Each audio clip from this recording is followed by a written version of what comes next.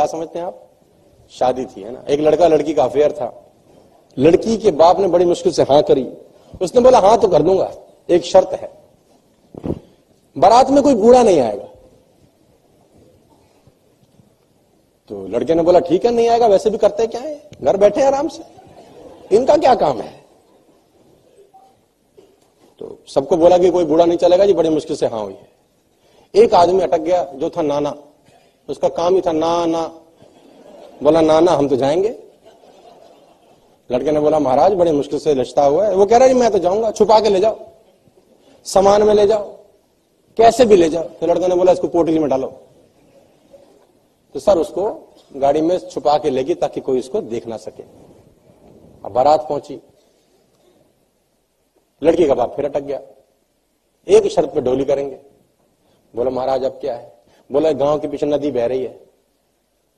इसका पानी की बजाय दूध बहे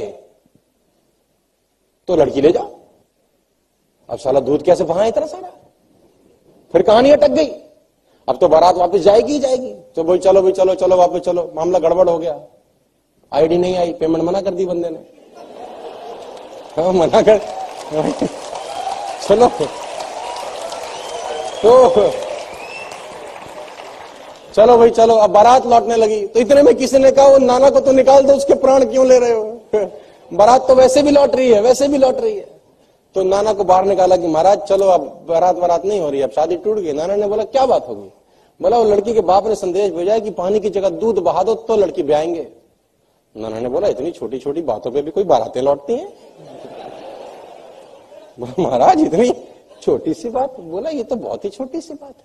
कौन संदेश लाया? बोले ये आदमी लाया कह रहा, आप उनको बोल दो, हमने दूध का इंतज़ाम कर दिया, तुम पानी खाली करा दो। दूध का इंतज़ाम कर लिया, बोले तुम पानी खाली करा दो। तो वो संदेश वाहक पहुँचा, संदेश लेके लड़की के बाप के पास। जी ऐसी ऐसी बात है लड़की के बाप ने बोला, पक्का पता करो, कोई बूढ़ा आदमी आया है इनके साथ। तो गुणों की महिमा है रे बाबू।